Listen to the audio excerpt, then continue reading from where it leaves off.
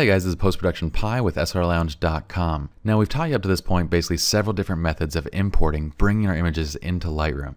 Now typically how the Lightroom workflow goes is that you're going to import your images, you're going to apply develop setting those images to develop them, and then whatever you need to take a step further, you're going to take into Photoshop, and then you export the final image. Now before we get to exporting, let's talk about how to take these images into Photoshop to do additional editing. And we're also going to talk about the different options on taking those images in. So uh, what we're going to do first is we're going to apply some develop settings to this. I'm going to hit D to shortcut me to my develop module. We have image 2, uh, let's see, this is 2.11 selected. We're just going to apply some basic settings. I just want to see a difference between this and the original file. So it doesn't really matter what we do here. I'm going to warm it up. I'm going to boost up the highlights, lower the shadows. This is, by the way, not what I would typically do to edit this image. We just want it to look different uh, from the original. And that looks fine right there. What we're going to do now is we're going to hit uh, Control E or Command E on a, a Mac, or we can right click. Again, there's a million ways to do this. We can right click anywhere in the image, hit Edit in Photoshop, or we can go up to our photo menu and again, we can hit Edit in Photoshop. Now, I'm going to hit Control E because that's my favorite way to take it into Photoshop. And now we have three different options as far as what to edit. Do we want to edit a copy of this image with the Lightroom adjustments? Do you want to edit a copy of the image without the Lightroom adjustments? Or do you want to edit the original file? Now, if we edit a copy of the Lightroom adjustments, what it's going to do is bring up Photoshop with our Lightroom adjusted file. So if we compare these two, we have the exact same image. Now, if I close this without saving, and I hit no, it's going to remove that file from Lightroom, so it's not in Lightroom. If I hit edit again, I'm going to hit Control E one more time, do that one more time, bring it into Photoshop, and now I'm going to hit Control S or Command S on a Mac. I go back into Lightroom, and now we have the PSD file that's automatically imported and saved right next to the original. Now you guys remember why uh, we actually went into the preferences, and when we setting preferences, I said I don't like to stack my PSD files with the original image. If you stack them, they're going to show up as one image and you have to unstack them to see them. So this is how I like it where the images actually show up right next to each other as opposed to being stacked on top of each other. So that's why we selected that preference back then. Let's go back into Photoshop and I'm going to apply just an action to this image just to change it again. Uh, we have our SLR Lounge uh, vintage pack loaded up and I have one of the mixologies here, film circa 1920 that we're going to apply to this image. So I'm going to hit play when that's done, we're going to hit Control S again, and then we're going to hit Control W or Command W on a Mac to close it out, and we're going to go back to Lightroom. And now we can see that the preview for this image has been updated since we updated the PSD file. Let's go back to this original image. Let's hit Control E again, and this time let's look at this edit a copy. So now when we edit a copy, it's going to edit a copy of the image, but it's not going to have the Lightroom adjustments with it. Okay, so this is the original image without Lightroom adjustments, but it's a copy of that original file.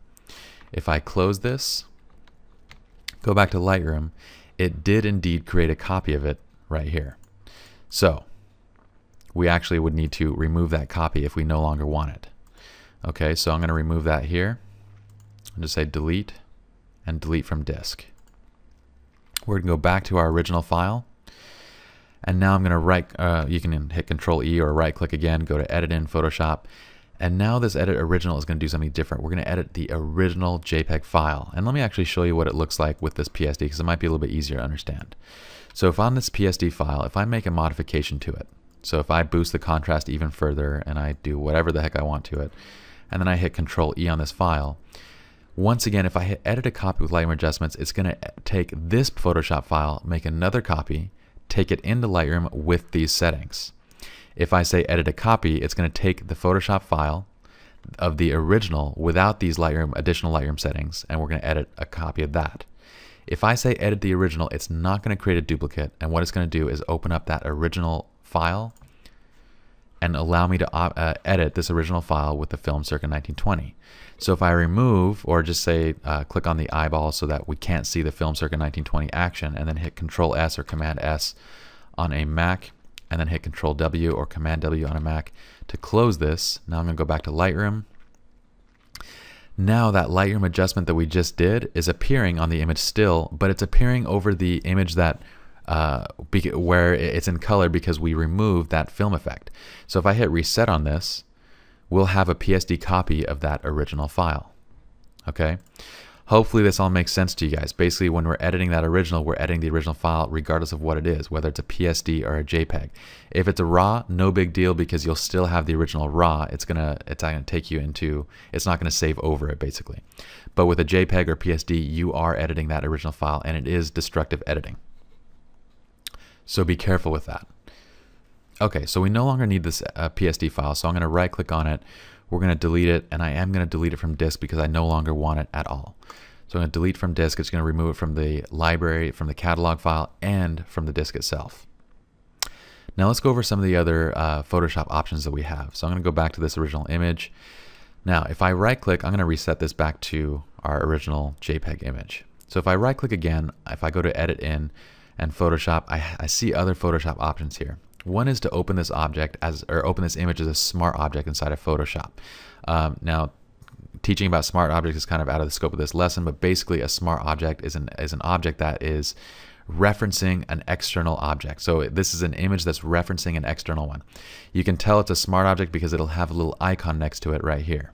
And it's a, so it's a smart object. So any updates that are made externally will show up within this image. Now, there's certain things in Photoshop that you won't be able to do when you're using smart objects. So it's kind of beyond the scope of this, but that is an option that is available. Let's hit Control W to close this out. I'm going to hit No, and then to go back to Lightroom. Now, I'm going to go back to my menu again by right clicking, and now I have Merge to Panorama in Photoshop. So if I have multiple images, let's say I have five panoramic images, and we'll just assume that these are those, and I right click and I go to Edit In, now that option is going to be available where I can merge all these images into a panorama and it's automatically taken into Photoshop and it's going to automatically run the Photoshop panorama stitching. So it's a really useful feature when you guys are shooting panoramic images. Same thing when you guys are shooting HDRs. If you guys are bracketing, whether it's three images bracketed or five images bracketed, when you right click, you can go here and say merge to HDR Pro and it'll automatically open that in Photoshop as an HDR profile. Lastly, and one of my favorite features is this open as layers in Photoshop. Open as layers in Photoshop will immediately allow you to take multiple images and open them up as different layers inside of Photoshop. And it's going to work like this. It's going to basically take all three of those, and this says it may require the uh, Camera Raw plugin version 7 for compatibility, which is funny because this Camera Raw is not actually available yet. The latest one is 6.7. So we're just going to click open anyway. All right, so it brings up all three images and you can see it's stacking all three images on one single file so that we have them all in one area. So this is really nice when you're doing compositing work or any work where you need to have multiple layers open at once. You can do it directly from Lightroom without having to copy paste and copy paste in Photoshop to get all of your images onto one single file. All right, I'm going to close this out by hitting Control W or Command W on a Mac, hit No to save to not save it out. We're going to go back to Lightroom and that is basically the different options that we have as far as Photoshop editing goes. Once again, if you guys need to change any of these preferences as far as editing in Photoshop goes, you're going to go into your preferences by hitting Control comma or Command comma. Go into the external editing tab, and now you can edit any of these adjustments. So previously in the preferences, we taught you guys how to set the file formats, the color space, and we showed you guys kind of our optimal settings. If you guys ever need to adjust that, it's right here. All right, guys, so Great job. Let's go on to the next tutorial.